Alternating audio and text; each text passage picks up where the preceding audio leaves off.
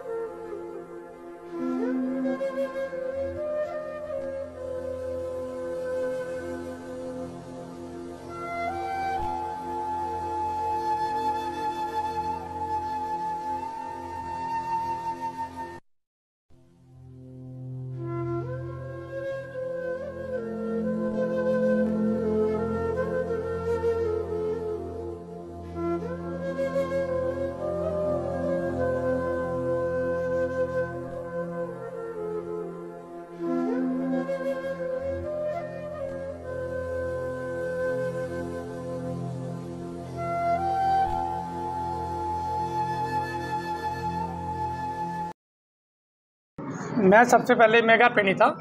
मेरे बड़े भाई थे डॉक्टर अमरजीत। जे मतलब गाँव में दुकान करते हैं और जे साढ़े नौ के करीब दुकान बंद कर देते हैं। साढ़े नौ के करीब इन्होंने दुकान बंद की। दुकान बंद करने के बाद रोज़ मतलब बारह महीने मतलब कि बाहर जाते थे। बारह महीने जब बाहर जाते, फ्रेश होने के लिए, फ्रेश होने के लिए बाहर गए थे। बाहर गए थे तो ये इनका बेटा है। उस समय जही घर पे था और मेरे फादर साहब घर पे थे। फादर साहब दूसरे घर में सो रहे थे। वो जहाँ से वारदात हुई है वहाँ से टोटल डेढ़ सौ डेढ़ सौ मीटर के अंतर अंतर भी नहीं है। मतलब कि वहाँ पे होगा। तो इस बच्चे ने फ़ोन किया पापा को तो उनका फ़ोन बजा उन्होंने फ़ोन नहीं उठाया। जब फ़ोन नहीं उठाया तो इनको कुछ डाउट हुआ कि पापा तो ऐसे फ़ोन एक काल में उठाते हैं। जिन्होंने दो काले की इन्होंने फ़ोन नहीं उठाया उन्होंने कितने बजे की बात है वो? जे पौने दस है ना? पौने दस गए? साढ़े दस आए शाम की बात। शाम की बात हाँ। साढ़े दस बजे तो जब ये गए तो जाड़ियों में उधर फ़ोन बजा फ़ोन बजा तो इनको और ज़्यादा डाउट हो गया कि पापा का फ़ोन इधर बजा तो उसके बाद लड़कों को उसने बुलाया। इसके मेरे भतीजे थे दो जो आस पास के थे इसके साथ ही थे वो। उन्होंने साथ गए इसके उन्होंने देखा कि ऐसे जाड़ियों में इसके फादर पड़े हुए वहाँ। तो इन्होंने सोचा कि अगर वो सर चक्कर आया हो कुछ ऐसा हो जब सीधा किया तो उसकी गर्दन काटी हुई है। ऐसे जैसे अफगानी काटते हैं, उस हिसाब से गर्दन काटी हुई है। हम मीडिया से और प्रधानमंत्री से यही अपील करते हैं कि हमारे भाई को इंसाफ मिलना चाहिए। जैसी कार्रवाई हमारे घर पे हुई है, हमारे भाई के साथ हुई है, ऐसी ही कार्रवाई कहीं ना हो। जे छोटे छोटे उसके दो बच्चे हैं ये बेटा है ये बेटी है। कल इनका कौन बनेगा? मैं गवर्नमेंट से यही अपील करता हूँ, इसकी सही तरीके से जाँच की जाए। और मैं अपने सभी बंधुओं से यही अपना जो मेरा एक्समैन ग्रुप है, उनसे उनसे मैं अपील करता हूँ, मैं अगर फौजी हूँ तो मेरी सभी ने मिलकर हेल्प करो। मेरी हेल्प करो, मेरे परिवार को इंसाफ दिलाओ कि हम अगर गवर्नमेंट की नौकरी कर रहे हैं, हमारा परिवार ही सेफ़ नहीं है तो हम किस काम के? मैं बाईस साल नौकरी की है, मेरा भाई घर पे रहता था तो मैं बेफिक्र होकर नौकरी कर रहा था। आज मुझे ऐसा लग रहा है, मैं उसके बिना बाईस दिन निकालना मुझे औखे लग रहे हैं। मैं बाईस दिन में नहीं, उसके बिना निकाल पाऊँगा। उसकी हमें बहुत सारी कमी महसूस ऐसे हैं कि हमारी एक किस्म की हमारी कमर टूट गई। है हमारे गाँव वालों को पूछ लो वो हर गाँव वाले के लिए एक हमारा भाई नहीं पूरे गाँव का भाई था।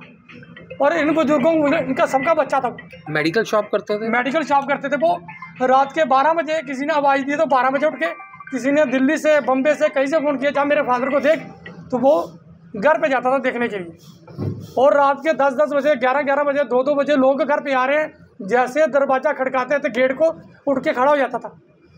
पर ऐसे हेल्पफुल बंदे के साथ ऐसी घटना घटी है तो मैं प्रशासन से यही और मीडिया बंधु से यही अपील करता हूँ कि हमारे को इंसाफ दिलाने के लिए ज़्यादा से ज़्यादा लोगों को अब ये चीज़ बताओ ताकि लोग हमारे साथ ये चीज़ें का इंसाफ दिलाने के लिए हमारे साथ जुड़ें। अच्छा मुझे ये बताइए कोई शक है आपको किसी के ऊपर? कोई कोई ऐसा कोई लग रहा है? हमारी ना तो किसी से दुश्मनी है ना तो हमें कोई शक ऐसा। तो क्या लगता है आपको हमें ऐसे लगता है कि जैसे मेरे भाई बाहर गए हैं, जहाँ तक किसी ने कोई ऐसी क्रॉसिंग हुई है, जिसके कारण किसी बंदे ने जो मिल्टन को क्रॉस करवा रहा होगा, ऐसे तत्व को क्रॉस करा रहा होगा, उसने देख लिया, मुझे डॉक्टर ने देख लिया। डॉक्टर एक ऐसी चीज़ है कि वो पूरे को जानता है। वो गाँव से लेके बकरवाल के बच्चे तक जानता है। उसके बाद हर किस्म का लोग डॉक्टर के पास आते हैं। वो डॉक्टर की दुकान पे आते हैं, डॉक्टर ने सबको देखता, उसको यही डाउट हो गया कि मेरे को देख लिया जाके गाँव में बता देगा। उसी के मद्देनजर उस बंदे ने इसका कार्रवाई को अंजाम दिया। क्या नाम है आपका और कैसे आपको पता लगा कि आपके फादर साहब के साथ क्या मेरा नाम अभिषेक है। पापा को ये सवा नौ बजे डेली दुकान बंद करके घर आते थे और फिर घर आने के बाद मेरी और मेरी बहन के लिए दो टाफ़ी और बिस्कुट लेने दुकान पर जाते थे। फिर उसके बाद वो डेली बाहर जाते थे उधर फ्रेश होने के लिए। उस दिन भी गए, मैं छत पे सोया था। तो आधे घंटे तक नहीं आए होंगे पापा। तो फिर घर वालों ने मुझे उठाया कि पापा नहीं आए, ढूंढो उसको। तो फ़ोन किया, घर वालों ने पहले की हुई थी। कॉलिंग जा रही थी, उठाया नहीं किसी ने पापा का फ़ोन फिर मैं और मेरे ताऊ का लड़का गए हम लोग और बाकी मोहल्ले के आए पीछे पीछे। फिर गए उधर तो नीचे उतर रहे थे हम, जो दूसरा घर है। उससे कोई सौ डेढ़ सौ मीटर नीचे है। तो रास्ते के साइड में झाड़ियाँ थी उधर जाके फ़ोन मिलाया हमने तो उधर बजा। फिर वो पूरी झाड़ियाँ देखी उधर कुछ नहीं मिला सिर्फ़ फ़ोन मिला। उससे कोई बीस मीटर दूर नीचे आके बाडी पड़ी हुई थी। हमने पूरा देखा हमें नहीं मिली पहले। हम आगे चले गए उधर एक स्टिक मिली जो हमारे यहाँ पे मैक्सिमम के पास होती है बकरवाल है। और हमारे इधर की वो स्टिक भी नहीं है जो हमारे इधर पेड़ हैं ऐसे है भी नहीं। और फिर हम और आगे चले गए। जो पीछे दो आ रहे थे, उनको फिर स्टिक से थोड़ा सा पीछे इस साइड बाडी मिली। ऐसे ऐसे लेटे हुए थे। मतलब कोई सिर्फ़ पीठ दिख रही थी, कोई ब्लड नहीं दिख रहा, कोई कुछ नहीं। और पापा को हार्ट की प्रॉब्लम थी तो उन्होंने सोचा कि हार्ट अटैक आया होगा। तो जैसे उठा के छोड़ा तो फिर देखा इतना सा पूरा गला ही काटा हुआ था।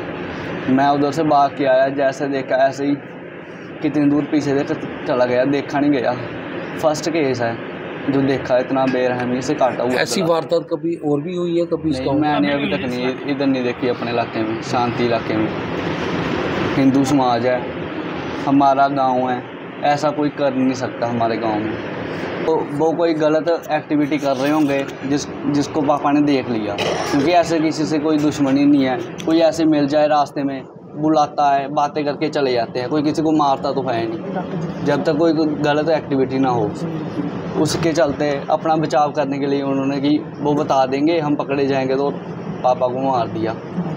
और हमें कुछ नहीं चाहिए, बस मुझे पापा के कातिलों को जल्द से जल्द देखना है, जितनी जल्दी हो सके।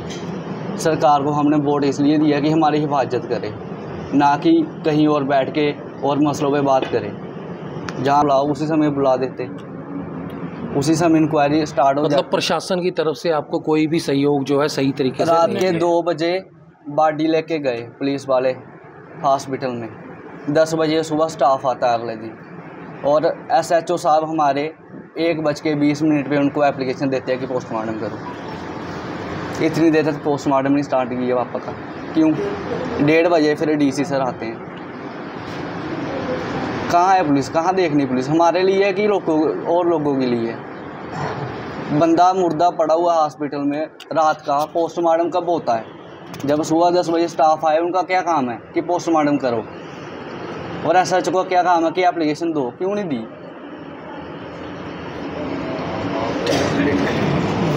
हमें बस जल्द से जल्द इंसाफ चाहिए। प्रधानमंत्री अपील कर रहा है अपील कर रहा है। और मैं पूछना चाहता हूँ कि हमारा एक अर्निंग हैंड था पापा जिसके सिर से हम खाते थे घूमते थे जो काम करना था करते थे। मैं खुद पढ़ता हूँ ये मेरी बहन है। दोपहर को मेरे पास आई कहती दो दो साल की तरह लग रहे हैं पापा के बेटा।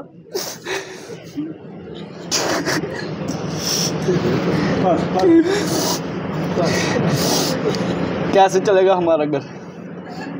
इनकम ऑफ़ सोर्स आपके पापा ही थे। हाँ। आप क्या करते हो? मैं ग्रेजुएशन के फाइनल ईयर के एग्ज़ाम दिए हैं और जो सिक्स क्लास में बढ़ती है।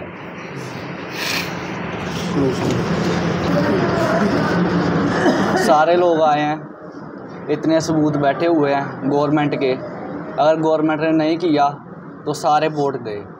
वोट तो गए सरकार बनाना ही छोड़ दे। ये हमें इंसाफ नहीं मिला तो कल हम दिल्ली तक भी जाएँगे। ये प्रोटेस्ट किसके लिए होते हैं? गवर्नमेंट खुद करवाती है। अगर वो टाइम पे इंसाफ करे लोगों के साथ तो नहीं होगा हमें बस वो चाहिए जिन्होंने पापा को मारा और मारा भी इतना बेरहमी से है कि इतना इतना हाथ उनके गले के अंदर चला जाता है बेटा बड़ा अच्छा ਕੀ ਆਖਣਾ ਚਾਹੁੰਦੇ ਹੋ ਤੁਸੀਂ असल साहब चाहते हैं प्रधानमंत्री जी के अपने फिलहाल करना चाहता मेरे बच्चे को साफ मिलना चाहिए मेरा लक टूट गया है मेरी यही प्रयास है प्रधानमंत्री आगे। कि मेरे बच्चे का साफ़ मिलना चाहिए ये मेरे बच्चे हैं मैं कैसे पाल सकता हूँ? तिरासी साल मेरी बाजू हो चुकी है। मैं इसके लिए क्या कर सकता हूँ? मेरे पास कुछ नहीं आप क्या चाहते हो? आप क्या होना चाहिए? हम इंसाफ चाहते हैं इस बच्चे का कुछ होना चाहिए। जो अपना बार आप ही उठाए, मैं थोड़ा उठा सकता हूँ। इसने पढ़ना भी है इसने काम भी करना है। इसका कौन वाली बात है साया सिर से बाप का उठ गया? ये बेटी है, पोती है मेरी। मैं क्या कर सकता हूँ? इनका साया उठ गया। बच्चा मेरा भी पालन पोषण करता था, माँ का भी करता था। और भाई भी उसके सिर में तो चले जाते थे, भाई भाई घर में है। आज मेरा कुछ खत्म हो गया है। मेरा सूरज अस्त हो गया आज मेरे लिए परसों का सूरज नहीं उगा है। मेरा सूरज मेरा डूब गया है। डूब गया मेरा सूरज।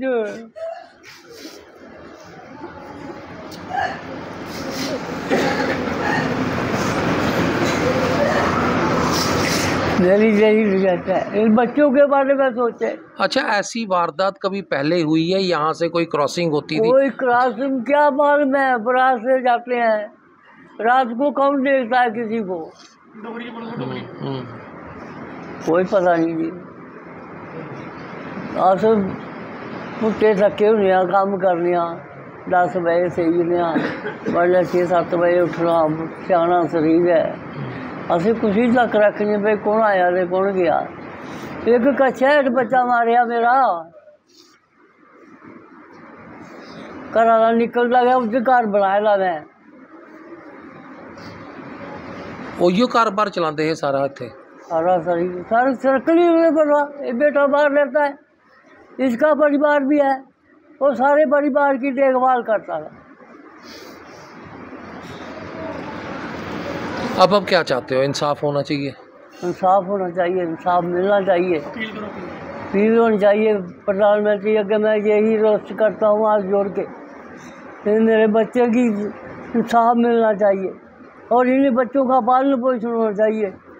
मैं कुछ नहीं कर सकता हूँ। बयासी साल उम्र है मेरी मैं कुछ नहीं कर सकता मेरे पास कुछ नहीं है।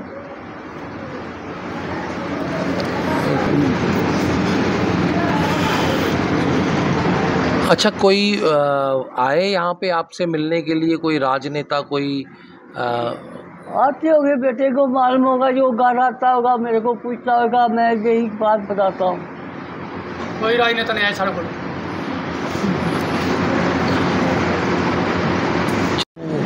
ਜੀ ਕੀ ਨਾਂ ਹੈ ਤੁਹਾਡਾ ਰਾਮ ਦੱਤ ਅੱਛਾ ਤੁਹਾਡੇ ਦੋਸਤ ਹੈ ਉਹ ਜਿੱਦੀ ਡੈਥ ਦੇਖੋ ਹੋਈ ਜੀ ਹੈ ਨਹੀਂ ਉਹਦਾ ਪਤਰੀਆ ਲੱਗਦਾ ਅੱਛਾ ਤੇ ਉਹ ਚਾਚਾ ਹੈ ਜੀ।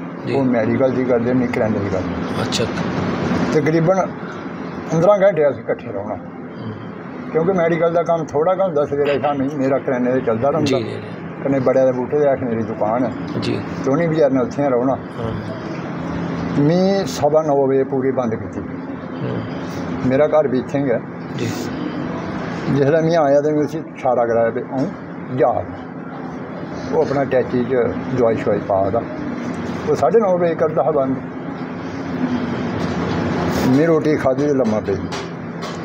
साढ़े बजुर्ग ने हाँ एह् एह् मेरे को अच्छा। मुझे लगे आखना महाराज अमरजीत जीतू हाँ जीतू जीतू आखदे ओह् बड्डी होएआ मिगी टट्टी आई। प्रेशर जाने पे शरीर कम। की गल? गया उट्ठेआ मौके पर गया। ਬਹੁਤ ਬੁਰੀ ਹਾਲਤ। ਮਰੀ ਜਾਂਦਾ ਬੇਸ਼ੱਕ ਇਸ ਹਾਲਤ ਕਰਨੇ ਜਿਹੜਾ ਮਰਿਆ ਨਾ ਉਹ ਬਰਦਾਸ਼ਤ ਨਹੀਂ ਹੁੰਦਾ ਸਾਹਿਬ ਉਹ ਨਹੀਂ ਬਰਦਾਸ਼ਤ। ਕੀ ਹੋ ਜੇ? ਬਾਹਰ ਜਿਹਨੇ ਜੰਮਿਆ ਉਹ ਜੰਮਿਆ ਜਿਹੜਾ ਉਹਨੇ ਮਰਨਾ ਵੀ ਹੈ ਇਹ ਮਰਨ ਬਹੁਤ ਬੁਰਾ ਵਾ ਨਾ ਅੱਛਾ ਕੀ ਹੋ ਜਾਂ ਵਿਵਹਾਰ ਹਾਂ ਹੁੰਦਾ ਸਾਰੇ ਬੜਾ ਅੱਛਾ। ਇਹ ਦੁਨੀਆ ਦੇਖਿਆ ਜੋ ਕਦੇ ਤੁਸੀਂ ਕਾਨੂੰਨੀ ਸੰਸਕਾਰ ਬਣਾਉਂਦੇ ਇੰਨੀ ਹਾਜ਼ਰੀ ਵੀ ਕੋਈ ਨਹੀਂ ਦੇਖੀ। ਅੱਛੇ ਗਏ ਹਾਜ਼ਰੀ ਹੋਈ। बहुत अच्छे इंसान ये कर सकते कोई इंसाफ नहीं। डरदे परसों लोग अंदर बड़ी गए कल भी मी सुता मेरे घर आई आख्या अंदर जा अंदर ला मंजा असें किन्ने कि दिन अंदर रौह्ना है। मतलब मरिया के गर्मी के बिच गै होना। मतलब पिंड च पूरा खौफ है महाराज खौफ कह नहीं। एक निर्दोष आदमी भैन जो कतल किया गया अस सुत्ते हो गए ते बड्डी चढ़ी जा कोई असें इ होना और होना? हूँ। हाँ। ये लब्भना असेंगी एह् दिक्खी लैओ एह् भड़कोना चाहिदा ऐसा दोबारा कुसै दे रियासी च भी एड्डा बड्डा हादसा तो हो गया शिवखोड़ी तो गड्डी आ मिलिटेंट कि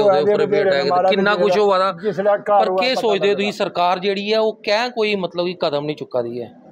आखना थुआढ़ा एड्डा बड्डा हादसा घर च ही होई गेआ केह् महाराज खोरी होई गेदी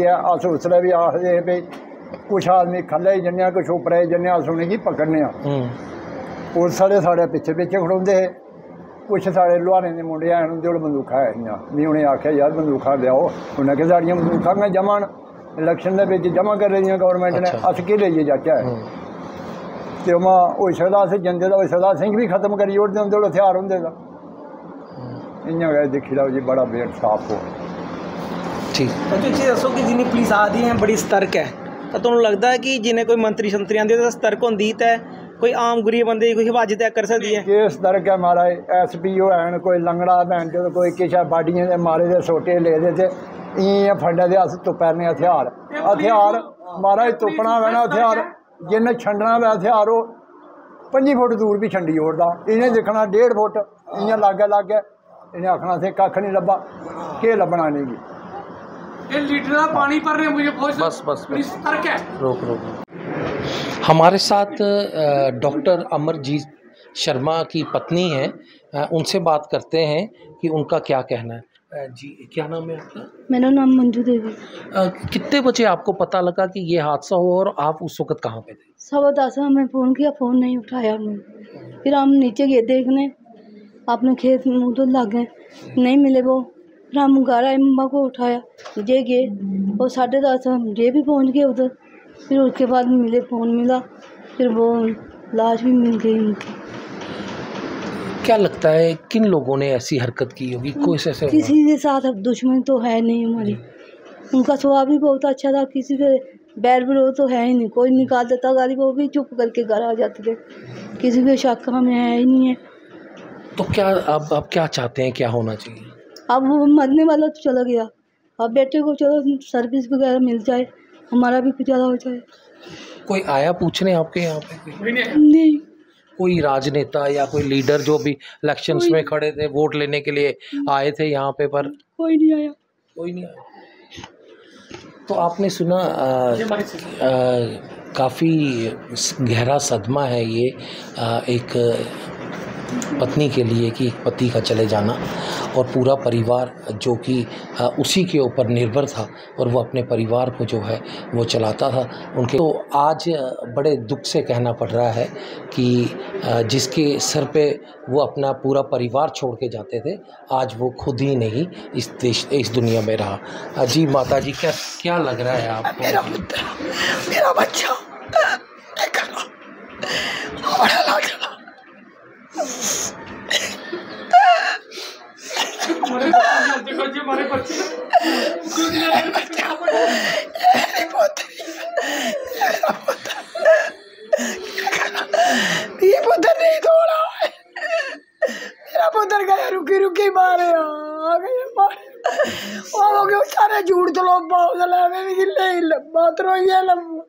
बार मुझे सुटे इतनी फट लाए मेरी मीर बथेरी उधर पवा मूंह उठा के मिगी दसो कोई सस्ता मेरे बच्चे सोचो मेरी लड़की है एक मेरी लड़की